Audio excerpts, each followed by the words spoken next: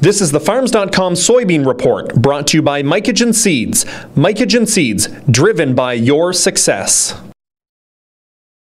I'm Holly Loucas from Dow AgroSciences. I'm a uh, customer agronomist and uh, we're on this harvested soybean field and we're going to talk about taking a soil sample um, after harvest is a great time to take a soil sample. Um, you just kind of want to be consistent. If you're harvesting, if you're taking samples after you harvested wheat, corn, or soybeans, just be consistent and every year, um, as you follow your rotations through your farm, you'll sample all your fields.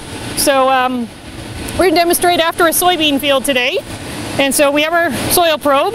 Um, you can either purchase one or you can borrow one from your local retailer. They'll loan them out to you and uh, let you borrow them. And um, so you just take it, insert it into the ground and then push down with your foot.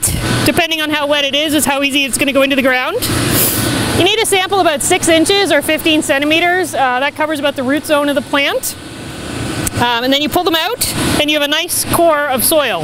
Um, what you want to do is kind of stick to about a 20 acre range and uh, take one to two cores per acre.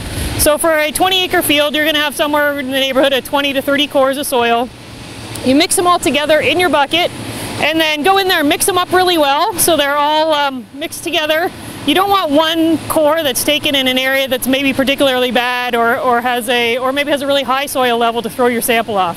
So you want to mix them up really well and then um, there's a, OMAFRA has a good list of labs on their website when you look up a soil test, um, how to take a soil test that will tell you where to send them and they'll have guidelines for how much soil to put in your sample, um, how they like it, whether they want it at 4 degrees or just room temperature um, storage. So for the lab you're going to send it to, you want to follow their guidelines. So um, I'd recommend getting those first. And um, once you've got your sample mixed up, you bag it up the way they want it, the amount that they want it, and you can send it off.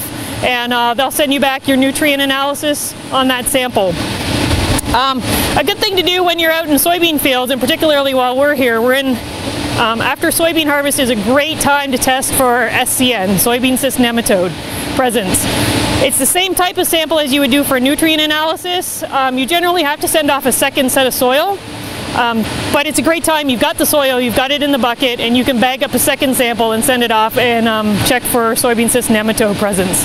Um, the lab will use that second sample. They'll tell you how many nematodes you have or how many cysts are present in your soil, and that gives you an idea of how much, um, whether you have SCN in the first place and um, the levels of pressure you have, and then you can follow some guideline management. Just continue on. Okay. So uh, once you get your soil samples back or your soil test results back from the lab, um, several things you can do with them. There's lots of online resources to go into and um, input those numbers in. Um, a lot of the resources are on the OMAF website um, to know what levels of fertilizer you need to put on um, and, and, the different options you have. Chemical companies can give you recommendations for how to um, increase your levels if you've got a problem, if your pH is off, how to change that. Um, so there's many avenues you can take to eradicate your soil. The best thing to know is that once you know what um, what your soil is like, what the nutrient levels are like, you can make a lot better decisions in season once you've planted. You can make better decisions before you're planting, what fertilizers you're going to put on to help get the better crop off your field the next year.